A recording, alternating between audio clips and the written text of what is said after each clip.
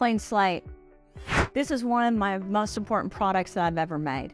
Your bodies have trash on the inside. We all take the trash out in our home, but we forget to do it in our own body. You can't fix things like autoimmune disorders and diseases unless you first clean things out.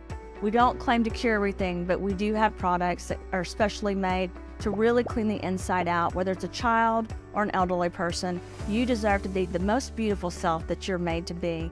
I take 10 drops in the morning and 10 drops at night. But sometimes when I have different flare ups, because I have had cancer, I have had Lyme disease and high blood pressure, sometimes I will take even more. Sometimes I'll do 10 in the morning, 10 at lunch, and 10 at night. For most people, they start with one drop and they go up to 10 over the two weeks.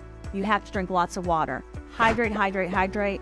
This product is going to get you clean from the inside out.